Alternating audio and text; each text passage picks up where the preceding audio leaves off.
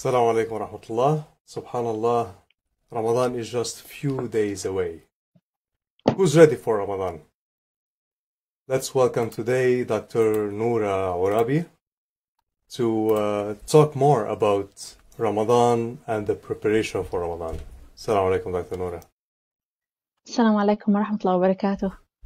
How are you today? Alhamdulillah, I'm very good. Good, good, alhamdulillah. So, are you ready for Ramadan? I I was actually surprised by how time is flying by very fast. Yeah, subhanallah. Yeah. Only few days. And Ramadan is yeah, few days. Yeah. So how can we get the most of these few days, ayyam and ma'dudat? Uh, for for Ramadan, it's a month full of blessings in terms of uh, spirituality, in terms of our health, and uh, today we're gonna focus on how we can make the most out of our Ramadan in terms of um, or the health aspect. Um, but before we talk about fasting and how fasting benefits our bodies, it is very important to note that uh, fasting is not the same as dieting. Now, the concept can be a little bit confusing because fasting you are restricting food and dieting you are also restricting food, but the secret relies uh, within the purpose of each. Usually, the purpose of dieting is to fix a health problem, looking and feeling better, but fasting is there to help you feel and look better as well as to live and perceive differently. Uh, today we'll, we, we will go into details about fasting, the miracles of fasting, and how it can be rewarding for our bodies, our health. Um, uh, fasting has been, if you look at fasting, it has been very important in so many different cultures and so many different religions, and we hear about a lot of different types um, of fasting. For example, if we look at different religious fasting, there is the Yom Kippur for Jewish. Uh, for us, we have Ramadan. There's also our Christian brothers and sisters where they do not have um, animal products. Uh, يا أيها الذين آمنوا كتب عليكم الصيام كما كتب على الذين من قبلكم. All you who believe observing uh, fasting is prescribed for you as it was prescribed for those before you. So the bottom line here uh, of any fast, uh, whether even if people do fast like social media fast or fast that is not talking to people, whatever type of fasting that people do, whether religious or not, the bottom line of fasting is to get rid of any addiction that is causing a buildup of toxins in your body, your mind, and in your spirituality or your spirit. So Medical research has uh, proven that fasting has so many benefits to our bodies. Um, it helps us with weight loss, insulin sensitivity, speeds up metabolism, promotes longevity, improves brain function, and so on. It, it, the, the counting never stops. But how does fasting do that? And the most confusing question that a lot of uh, Muslims face is not even water. so we're going to answer that question as a start uh, before we get into any other question that uh, you might have. But uh, when we are fasting normally, uh, we are giving our organs a break. So during that break, the the body takes advantage to, or even like every organ takes advantage to start cleansing itself on its own. So when the body's uh, blood circulation um, used to focus before on the digestive system, 30% of that uh, blood uh, is going into our digestive system now. That 30% and that energy is spread all over our body. So we are supposed to have more energy. We're supposed to be more uh, mentally alert, uh, have more concentration, and we should be more productive. Unfortunately, uh, a lot of people feel tired, feel lazy, or even feel angry. Uh, there's an explanation for all of that. Uh, but for the most, most part, people are either not eating too well, or they're not regulating their sleep time very well, or they are having withdrawal symptoms. But those feelings they have is not because of uh, they are fasting. Okay. Um, the the other thing I wanted to touch on before we get into the question is not even water. As we mentioned before, there are so many different types of fast, uh, and and the the most or what people think is common sense is if I am not eating food for a long period of time, then I probably need water to help my body get rid of the toxins to flush them out, right? Um, but what happens actually? Um, for fasting, for for us, we when we fast from dawn to sunset, or what we call the dry fast, where you don't have water or food for a long period of time, what happens is you actually put your body under a competition, and anything that's mold, fungus, bacteria, viruses, germs, whatever you name it, whatever is living inside your body that's hurting you needs to live in a water environment so it can stay alive and survive, right? So when you ta- take the water out off of the equation, now the body goes into a whole competition where the body needs to survive. And of course, in that competition, your body wins. And that's how the cleansing process is actually intensified. Um, research have, have said that if you have been collecting toxins, let's say for one year, you need another year to clean all of these toxins. And they have um, summarized this ratio as one to one. But when you are fasting, it doesn't matter which type of fast you do, and it doesn't matter, or, and it depends on how effective you have done the fasting. That ratio can change from one to three, or it can change from one up to 100 um, in terms of how much you can cleanse. Um, there is another uh, other research that speaks about the cells and how our bodies build uh, new cells. Um, let's say someone has been um, living unhealthy lifestyle for 20 years. Researchers said that in order for your body to completely get rid of all the old habits and completely renew all the cells in your body, it will take your body uh, three years of living a healthy lifestyle to completely build and have new body and new cells. But when you are fasting, you're actually condensing all of this into three months. Can you imagine? So it, From three fasting years to three has months. from three years to three months. Yeah. Amazing. Um. So yeah. So mm, fasting has um, amazing benefits to our bodies, and it's very important that we do not only fast, we do not only um, cut water, we cut food, but the secret is when we break our fast, which um, we will talk about. hmm Okay, so before starting the fast, now during these days, few days before Ramadan, what should we do to like kind of saying train our body for the fasting? Hmm. Okay, so uh, th- there are important things that we need to consider uh, for fasting. For, first, a very good question is how do you enter a fast?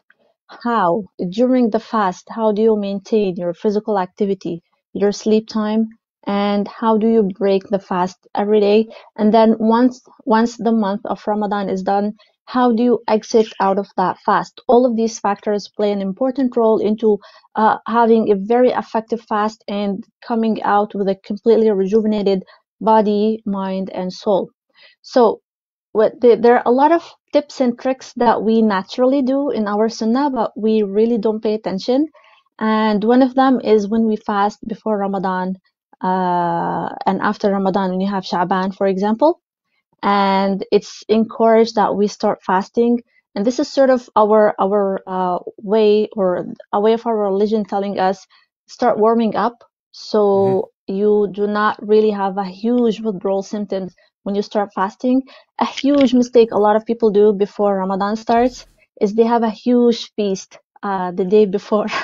the day before they actually start fasting, and this is a huge mistake because you are putting your body under a big shock where you hmm have had a huge feast the night before and then the next day you are completely cutting food out. So that's a big shock for the body. But our sunnah is teaching us how to slowly progress into going into the fast, going into the month of Ramadan. So what should we do? How can we do it? First of all, intention is very important. You start with your intention uh, of fasting. So this is like your niyyah, of course. You start with that. And then when you start taking action, uh, going into the month of Ramadan, you need to start slowly uh, eating less portions and adding more food that are more liquidy, like hmm soups, um, yeah, like and salads and um, all of these fried foods. Maybe start to eliminate it slowly. Fast foods, try not to come close to it. So gradually, this is how we are supposed to enter the month of Ramadan instead of shocking the system all of a sudden and also, this is the same way that we should exit the months of Ramadan. And this is where we have our six days of Shawwal. And uh, so just Mondays, basically our Thursdays. Sunnah. Yeah. Uh, Mondays and Thursdays, uh, that's a different story. Um, for for fasting, there are two types. So you have the the long period fast, which is the full month, and Mhm. usually that's done over um, an intense period of time, uh, and it's supposed to be from 29 to 30 days. And then this is like the complete, let's say, like a spring uh, spring cleaning type of thing. And the rest of the year, you're supposed to maintain that cleaning. And that's when we have the Monday and Thursday fast, and we have our three days uh, in the middle of the month. And now we hear a lot about intermittent fasting. Um, it's it's so unfortunate to see that most of the research that is being done about fasting is done by the West when Mhm. we already have the secret. We have the Yeah. secret to fasting. We have the secret to health. Subhanallah. And that's why the Yeah. Prophet ﷺ said, "Sumu tasahhu." Fast and you'll Exactly. get heal- healthier. Subhanallah. Yes. Uh, people who are addicted to caffeine, what should they Mm. do before Ramadan? Uh, people who are addicted to caffeine, uh, first of all, like we said, they need to start working on lessening the amounts before Mhm. the uh, before the month, so their body does not have a big shock and uh, they have really heavy withdrawal symptoms. And another thing they can do is manage their time of caffeine intake. So, for example, if they want to have caffeine after their iftar, it is best for them to uh, avoid having it at suhoor time because that will dehydrate their body and it will be a hard time for them to fast during the day. So it's best for them to have it maybe after Isha prayer, after Taraweeh, or like have a, a good gap before suhoor so they can have liquids. Um, caffeine can dehydrate the body very much. Uh, excellent uh, advice.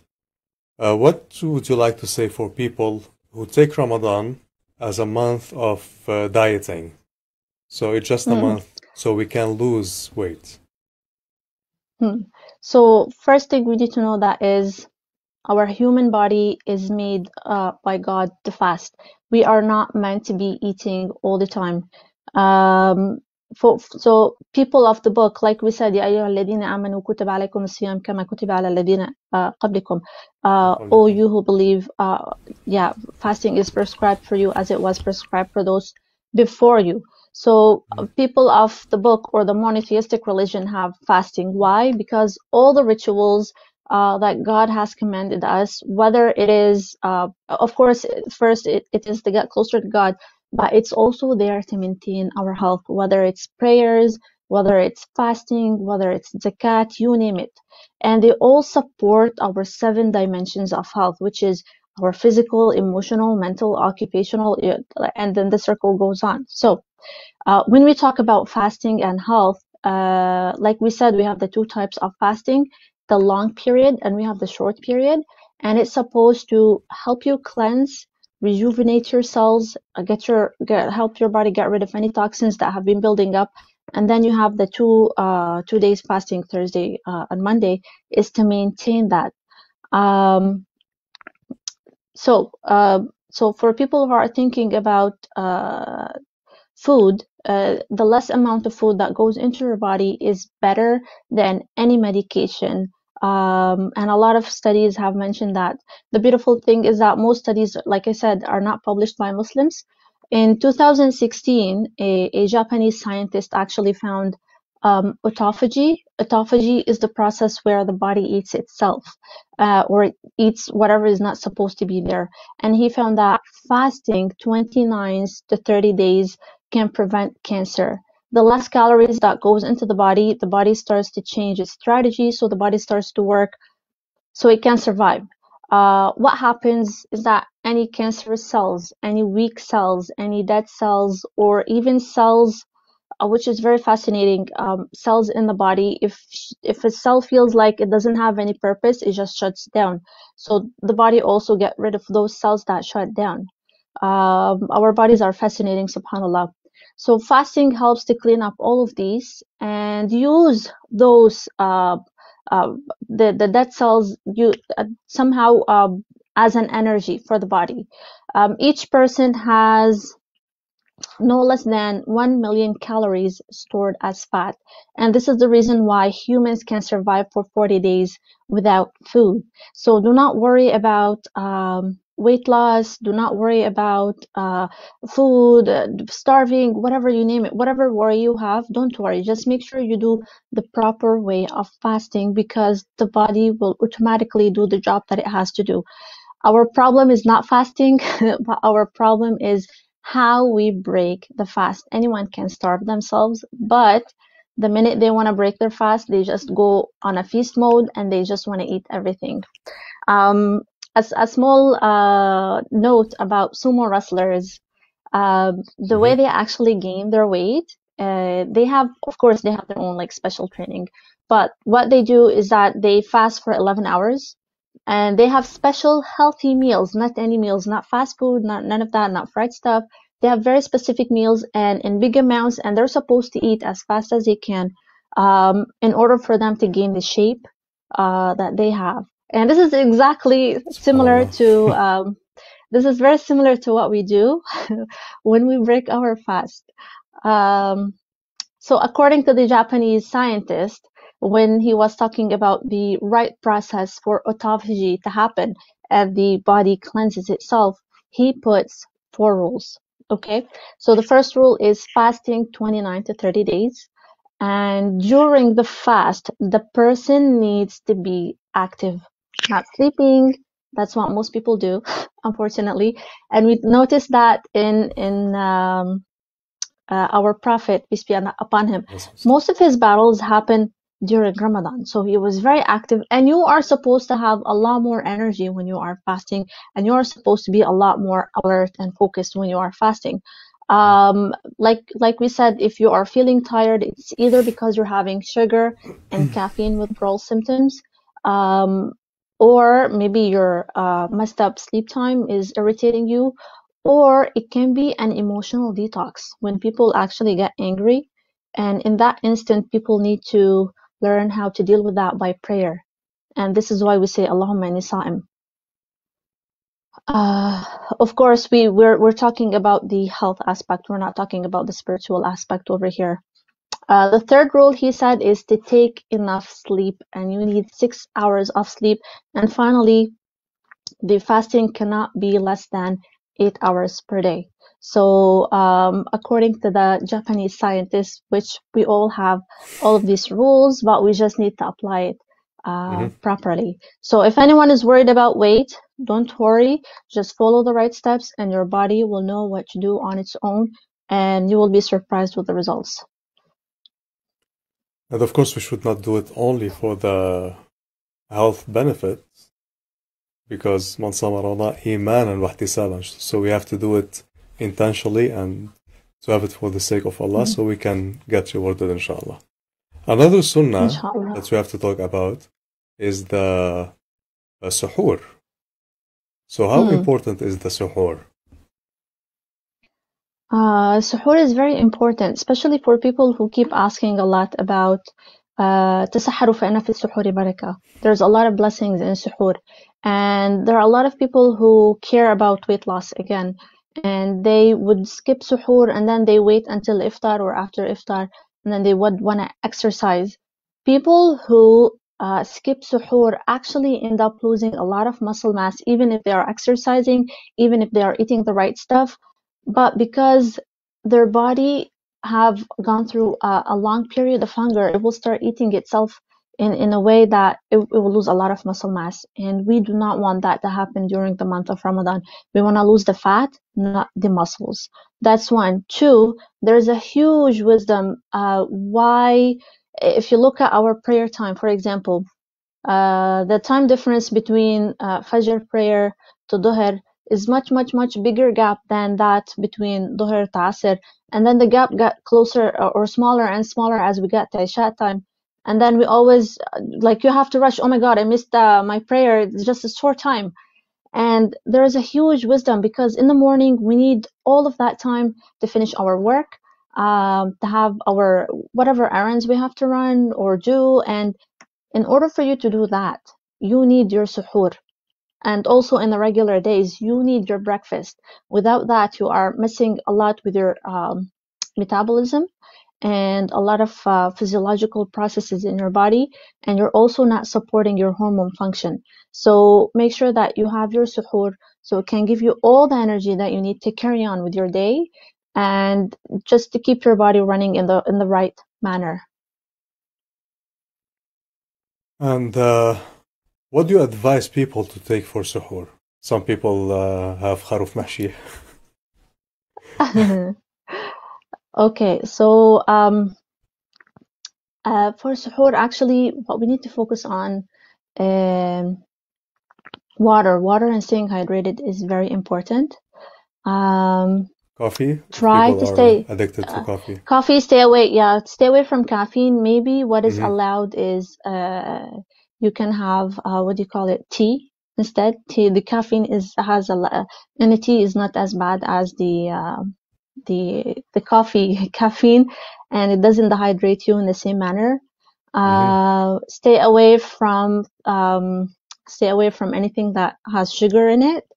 Uh, sugar is the cancer cell's best friend and it drops your immunity and messes up your body. You should not only in Ramadan, but even in a regular day, try your best um, to stay away from uh, sugar. Uh, you can have any other substitute like honey. Uh, honey and avocados for iftar are amazing. Uh, oats, oats and walnuts with some cinnamon and fruits are excellent. Um, what else? Eggs are very good, but stay away from fast foods. Anything that's pastry, um, that will, or anything that is fried, and that will make you thirsty and will also increase the acid in your stomach and Mhm. give you discomfort. Like And croissant like we or said- pies, cheese pie, yeah, za'atar yeah, pie, all these. yeah. So stay away from those. And of course, caffeine, if you need to have caffeine, have it during iftar, not during suhoor. It can dehydrate you. Um, tea is okay, Dates. like we said. Dates, yeah, dates are very good. Dried dried fruits are very good as well. And Uh, usually for we, water, we, water we and- take uh, Amreddin. Mm. Sugary drinks. Try to stay away from sugary drinks. We call them the Ramadan drinks. There is nothing Uh-huh. called a Ramadan drink except for water, and that's it. Yeah. Um, yeah, and this will take us into uh, the the way we should be breaking our fast, uh, which is the the, the secret um, Mhm. in the whole process of of fasting. Um, anyone can fast, but only the wise knows how to break their fast. So we start with water and dates. Why dates? Because dates have glucose and fructose, and according to research, these are the two best nutrients for the brain after fasting. So they will Mhm. help to lessen any headaches, any hunger. It will help uh, the person to calm down, and it will also stimulate the stomach to produce digestive enzymes. Dates have fibers, and those fibers will help uh, prevent the sudden rise in the sugar levels so your body does not crash and will slowly warm up. Uh, so do not start breaking your fast with Vimto, with Pepsi, or any sugary drinks. Those are not Ramadan drinks.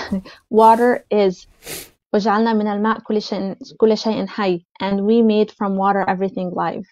Yeah. So if you are if you were to drink every day one cup, so people who care about their weight, listen to this very carefully. If you were to drink every day one cup of a sugary drink, you will end up with three kilograms by the end of Ramadan Wow. added to your weight only from that one cup if you were to have it every day. So We have when, it as you a gain culture, weight after especially back Yeah, home. People so- like every day kharnoob, jaleb, No. toot, No, not only one cup. Yeah. Yeah, so there's nothing called like a Ramadan drink, only water is. That's it. And the mechanism of having a sugary drink will leave your body into asking for more and feeling hungry. And at that moment, the body is is just thirsty. So the sugar level will rise up all of a sudden if you have those drinks, and the brain will send signals into the pancreas and will be asking for more. And at that point, you will be feeling like you're really hungry, you will eat more, and the more you eat, you feel there's something missing, you haven't really got what you need, and you just keep on eating until you cannot move. So um, the limit store for carbs in our body never exceeds uh, 350 uh, grams in the form of glycogen, and it will go up to 30 um, uh, kg for athletes in muscles and liver.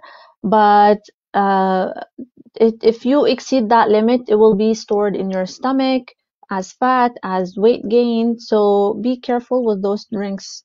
Um, so uh, message number one, do not look, if, if you care about weight and weight loss a lot, do not look at scale, look at your waist uh, Mm-hmm. and use a measurement tape. Uh, if you fast properly, by the end of Ramadan, you should be close to four ki- kilograms less. Uh, message number two is the the sports or training you do before iftar will increase your your metabol- metabolism. It will uh, save your muscle mass, and if you lose muscles, then you will not be able to burn um, uh, calories as much because muscles are your burning engine. Um, this is why people who lose weight the first two weeks of Ramadan without doing any physical activity they're actually losing muscle mass and liquids from their body. And usually those people, um, right after Ramadan, just watch three to four days after Ramadan, the weight of that person will gain it again. And they're like, oh my God, what happened? And at that point. That was not my plan, that. no, that was not the plan. So, and the worst part is that that person have lost muscle mass, Mhm. and when they gain their weight again, they're actually gaining fat. So that's a disaster, and this is not what you want. Mhm. So, So people who are used to Ah. train before Ramadan, they should not stop training. no, they should not stop. And even people, if they want to start, we'll talk about that for training. Mhm. Uh, so, uh, the, the proper way for breaking our fast is having our dates and water. And then we need to take a break, get up and do your prayer. Mhm. Your stomach needs 15 to 20 minutes to be ready uh, for, for digestive enzymes to be released. So that's your warm up for your digestion. I noticed this And when I was in the in the Gulf. I used to live and I lived in Qatar and Saudi Arabia. So usually there, uh, people break the fast with dates and water and like very light things, and then they go to the Mhm. mosque for prayer. So it's it's about 15 to 20 minutes to, Yeah. to come back, and then they start. Yeah, and also even uh, another drink that you can have is yogurt. Yogurt is very good because it has the bacteria that will support your digestion as well. Um, there's also something very interesting about prayer time. Uh, like we said, the, the the gaps between all of them is just fascinating, and it works uh, with how your hormones are supposed to be regulated. So follow the sunnah, follow it. Uh, you're not missing out on anything. If if now science is coming now with a lot of things that support every single thing that our prophet have Allah. taught us. So follow, yeah, follow the sunnah. Mm. Okay, so going back to the exercising and training. Oh, training. So, um, some people feel lazy and they just uh, say that they're tired, whatnot. But we have a lot of football players who fast and they still train. They're professional athletes like Benzema, Mo Salah, and many others. And we have seen, if, if you look at their history, we have seen them uh, fast during World Cup and very big games. And they usually have their own program. But let's talk about, I'm saying, I'm mentioning them because I just want to show people there's no excuse. You can do it. Of course. Uh, but let's, yeah, but let's talk about normal people like us. Uh, what is physical activity? Physical activity is anything that makes my muscles, even if I move my hands now, this is physical activity. But physical activity is any uh, movement that makes my muscles and my skeletal system move, and it leads to burning calories compared to rest time. So any movement I do is physical activity. Unfortunately, most people, especially after Asr prayer, are sleeping.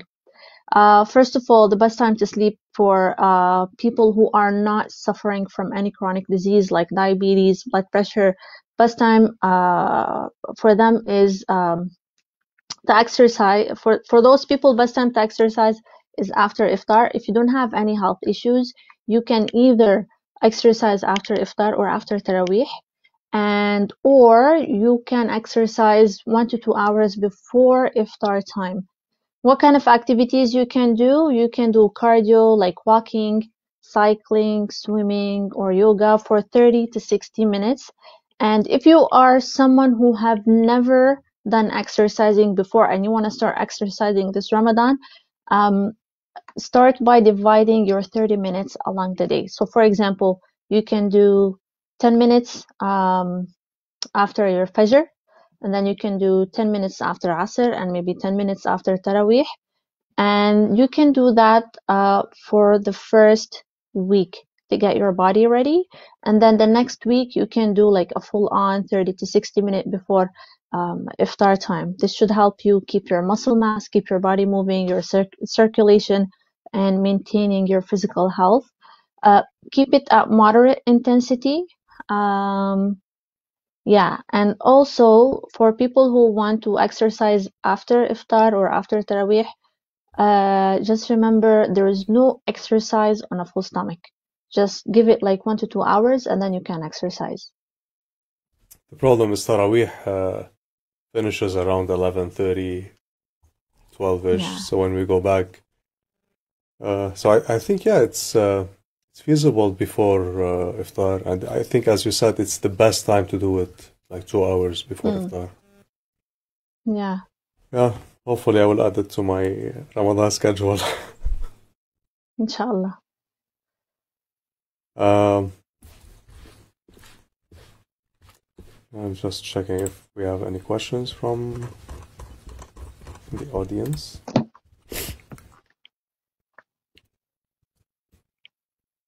Water. How can we stay dehydrated during Ramadan and we fast for that much hours Okay. without drinking any water? How can we stay hydrated? That's a very good question. Hydrated, yeah. Uh, usually, usually people during suhoor, they will just like chug on the water. And please don't. Just make sure you divide. We'll talk about this in more details. Um, you're not, your body does not store water and you're not a camel. Not a camel. Um, yeah. Uh, so the amount of water that my body needs or that can handle uh, is half, or the amount of water that my digestive system can handle is half a liter. A liter. Uh, the full amount that the stomach can take is um, the, the full amount of liquid that my stomach can take is one liter and a half. But according to our sunnah, uh, what the Prophet have taught us بحسب ابن آدم um, أكلات يقمن الصلبة فإن كان لا محال فثلث لطعامه وثلث لشرابه وال- وثلث لنفسه. That means a third for your food, a third for your drink, and a third for your breath. What does that mean? We said that mathematics. We said that the the capacity of your stomach is one liter and a half. That means the amount of water that your body handles at that moment is half a liter. Um, after that, 60 to 90 minutes, the kidneys will get rid of that water. So to make sure that you are hydrated during your fasting, what I can do is I can take one glass of water uh, when I start my iftar, and then I can get up and pray. Then I can have my soups. Um, that's also liquid. And then after Isha prayer, you can have another drink, even if it's tea, that also counts as a liquid into your body. For suhoor, when you wake up, you can take quarter a liter of water before you start eating your suhoor. And then after you finish your suhoor, you can have another quarter of liter, uh, quarter liter of water. So that's half, half, and that's the capacity of your uh, stomach. Adding uh, the food and adding a little bit of space so that you do not um, congest your digestion or congest your stomach and give it a hard time digesting food. Uh, if that is clear, um, yeah, so this will keep your body hydrated. You will be okay, and you should be able to tell when you go to the bathroom. If if you go to the bathroom and the color is a little bit yellow or dark yellow, then you need to watch out uh, and try to stick to your uh, uh, a plan how you spread uh, the, the the drinks you have between suhoor and uh, between iftar and suhoor time. Excellent. You have mentioned Yeah. before that uh, some people feel tired due to bad habits. One of them is irregular sleep Hmm. time. How can we Yeah. manage the sleeping time schedule during Ramadan? Um, all the physiological processes during the day, whether it's Ramadan or it's not Ramadan, um, are uh, I don't want to say damaging, but your body is being used, and the growth hormones or rebuilding hormones they only work at nighttime and we are, when we are sleeping. Now during Ramadan, it is not uh, normal that we do not sleep or that we sleep less, right? Because we have to pray, we have our suhoor, we have our rituals to do.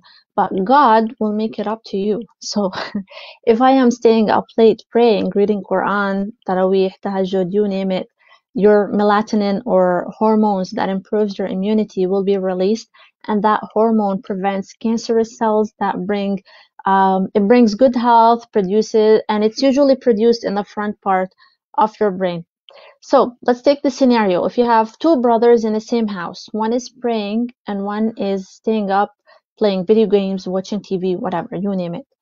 The person who is watching TV or playing games, his cortisol uh, is being produced in his body. He's already staying up late. The body is not happy. And he's um, stimulating stress from whatever he's watching and listening or playing. So ad- an adrenaline is being released, and having all of these is anxiety and stress. Uh, as opposed to melatonin. Now, if you are staying up praying and uh, uh, read the Quran, whatever it is, what is being produced because of relaxing activity is melatonin. It will help you feel relaxed and happy. And also those people who stay up uh, late to pray, they get a bonus. And away from normal days, actually, uh, the hormone melatonin get produced from two extra places. So God is also rewarding you, even if you are not uh, sleeping and the, the normal biological processes are happening. Now you get to have melatonin being produced from your stomach lining and from your eyes as well. عينان لا تمسهما النار عين بكت من خشية الله وعين باتت تسهر في سبيل الله There are two eyes that shall not be touched by the fire, an eye that wept from the fear of Allah, and an eye that spent the night standing on guard in the cause of Allah. So th- there's there's a huge wisdom behind everything, and God knows when when God is telling you do something, it's for your benefit. So let's try and take at least um, if you want to regulate your sleep time. So let's try and take at least one hour of sleep, maybe before midnight, depending on when Taraweeh is done. Let's say 11. So you have 11, 12, 1, 2, uh, maybe 3, depends. Manage your time. And then you can take a nap during your day before Asr prayer if you can. But try your best to avoid at all cost taking any naps, either Ramadan or not Ramadan, um, after uh, Asr prayer because that will bring you um, that will mess up your hormones basically. It's not mm-hmm. good for you and it will also play with your cortisol levels. It's not very good. So by that dividing and and looking at what uh, um, how you can manage your sleep you get some sleep at night and then you can make it up during the day if you can. So try to manage to the best of your ability. Uh, this way your body should be able to have the rest it needs. Okay and the best time to take a nap is uh, from Dhuhr or when when uh, the, the time starts? Uh, the best time to take a nap is never take a nap right after Fajr prayer, never, and never take a nap after Asr prayer. That's the rule. Mm-hmm. And naps should be should not last uh, longer than 30 minutes. But in the case of Ramadan, okay, you can take an hour. It's fine. and Subhanallah, yeah. it's all uh, like uh, the same advices from the Prophet والسلام, uh, subhanallah. Uh, yeah. What other advices uh, can you give about fasting Ramadan? Uh, okay, so um, let's look at uh, brain health and or mental health and fasting. So the brain has 1 billion nervous cells and research uh, found that the, the best two things to keep those cells healthy and prevent Alzheimer's is um, exercise and fasting. We lose on average 40,000 cells from our brain, and each one of those cells is able to receive 100 message in a second. Our bodies are fascinating. So the two ways to uh, make sure that we keep those cells healthy is by fasting and physical activity because as we take less calories, the blood flow increases and the body has more stuff to do, not only stay in the digestive system. So when there's more blood flow, there's more nutrients, there's more sugar, more glucose going into the brain, and the function is emphasized that way. Um, there's an experiment that was done on mice and they brought two groups of mice. The first group, they put them in a maze and they put enough food. The other group, they put them in a maze and they did not put enough food. So the group that had enough food, they just stayed there. They were happy. They did not even man- uh, try to get out of the maze. The other group who did not have uh, enough food, they were actually out of the maze within 15 minutes because um, there's a, a theory that is called the danger theory. So when your body is feeling in danger, it needs to do something to work, to survive, to save itself.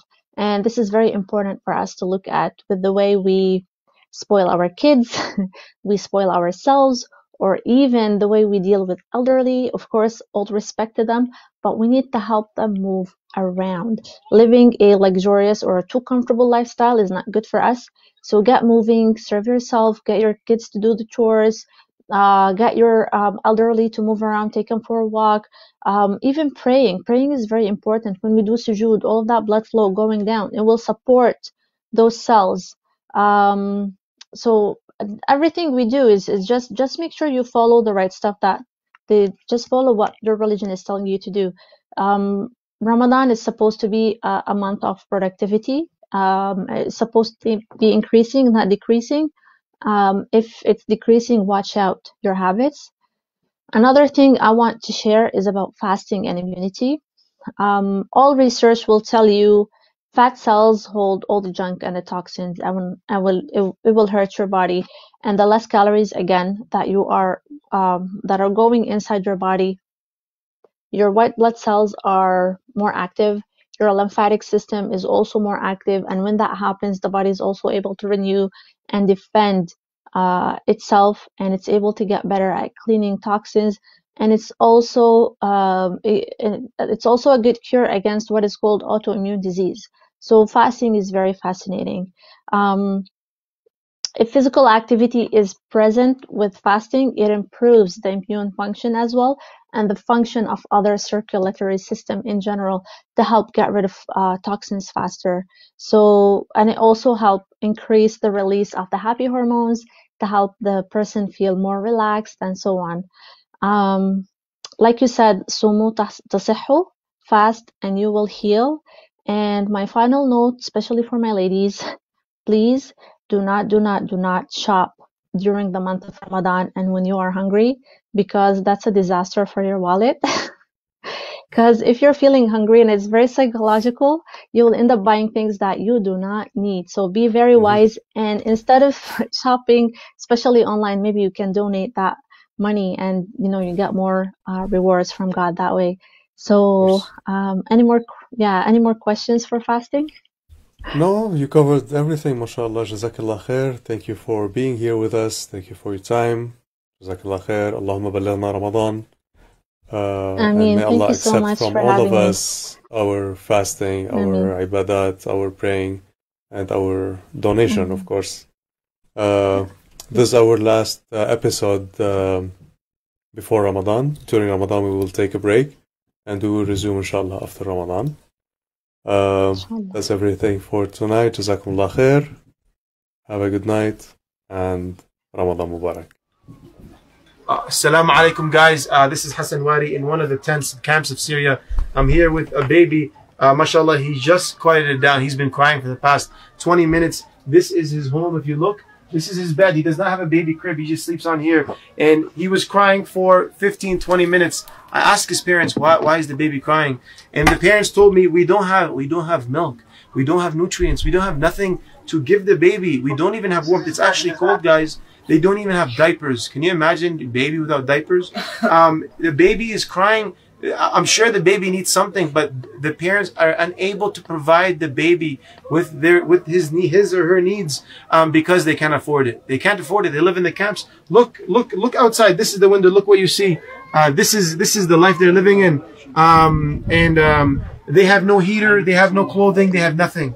Guys, please support us. Subhanallah. As soon as I held this baby, he's he's asleep now. Subhanallah. He was crying for 20 minutes, guys. I'm not even joking. He's in my hands right now, and he's he's so so calm. It's a beautiful thing, guys. He knows you guys are gonna help. He knows you guys are gonna come through. You guys never disappoint me. Please support, guys, for the sake of this beautiful baby. Wassalamu alaikum wa rahmatullah.